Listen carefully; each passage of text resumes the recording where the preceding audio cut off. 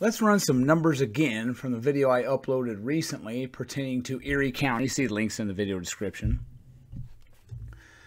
Some numbers I ran e recently at Erie County uh, adult arrest arrest demographics. I should have collated this data from 2016 to 2018, then 2019 to 2021 to calculate how much the Black Lives Matter riots and whining caused the arrests for blacks to skyrocket or go down. I did not do that to, for Erie County. I will do that for New York City. As you'll see, Black Lives Matter, uh, the Ferguson effect is uh, being seen. Of the 75,560 adult arrests in New York City 2016 to 2018, categorized as violent, 54.84% of the arrestees were black. Of the 68,760 adult arrests in New York City 2019 to 2021, categorized as violent, 2019 to 2021, 54.98% of the arrestees were black. Slight increase. New York City is only 24, roughly 24% black. Let's do Monroe County, which is not a super duper Democrat enclave, as it is below the 60% mark but it is very close and it contains the toilet known as Rochester, which is a super duper Democrat enclave. Of the 3,498 adult arrests in Monroe County, New York, 2016 to 2018, categorized as violent, 62.55% of those arrestees were black. Of the 3,124 adult arrests in Monroe County, New York, 2019 to 2021, categorized as violent, 66.93% of the arrestees were black. Monroe County, New York is roughly 16.2% black. Let's look at Tompkins County, New York. Are you paying attention? Do you notice a trend so far? Tompkins County, New York. Of the 242 adult arrests in Tompkins County 2016 to 2018 categorized as violent, 31.4% or 76 of the arrestees were black.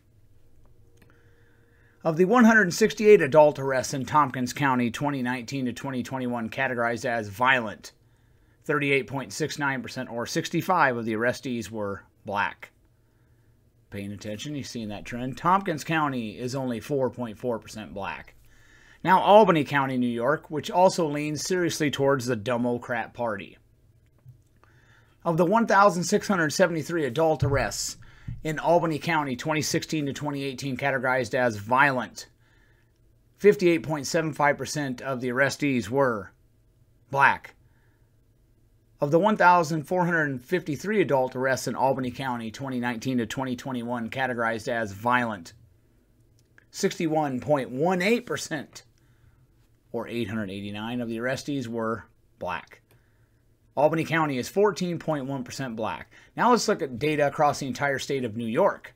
Of the 115,916 adult arrests in New York State, 2016 to 2018, categorized as violent, 50.7% or 58,778 of the arrestees were black.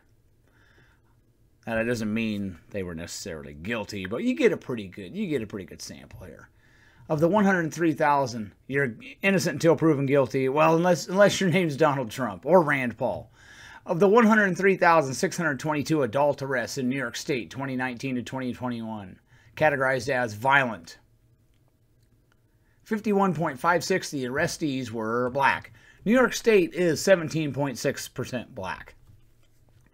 You may have noticed a few other things. One, the number of adult felony arrests categorized as violent decreased in the latter time frame, 2019 to 2021, in every single jurisdiction I looked at. So that's a pretty good sample. While homicide rates in Democrat run cesspools increased markedly.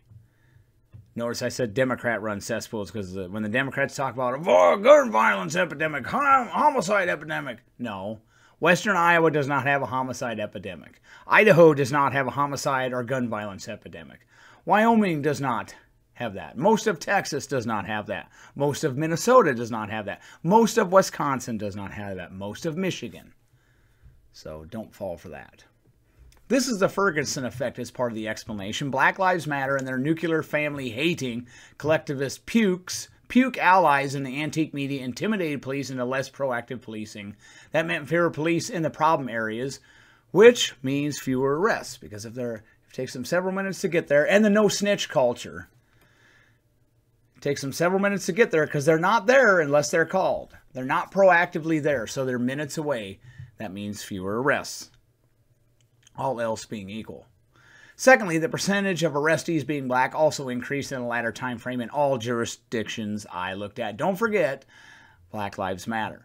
Just as I did last time, let's add another jurisdiction as some icing on the cake. In California, we're going to keep this going. I did uh, one to uh, that the divorcee. Well, I was going to say the toady divorcee Sam Seder, but Sam Seder and Old Fart Rants are both multiple divorcees.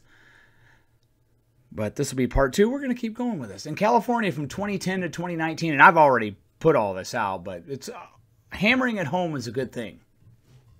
In California from 2010 to 2019, 26.34% of the murder arrest murder arrestees were black, 46.7% were Hispanic, 20.06% were white, and 6.89% other. Gee, I wonder why Asians are assimilating fine, ha- you having usually intact families, not snorting drugs up their noses or shooting up and not butchering each other in hood. It's because they're at home doing homework, because daddy's there and they know daddy uh, will drop the hammer. From 2010 to 2019. 28.55% of the murder victims in California were black. 43.4% were Hispanic, 20.32% were white, and 7.3% were other. Plenty of black on black homicide happening in the Golden State, too.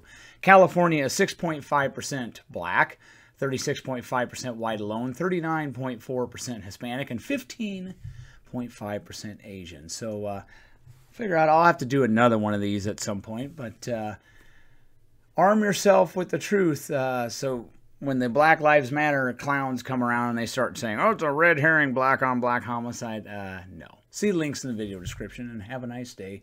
And don't thank me for the facts. And there goes my phone.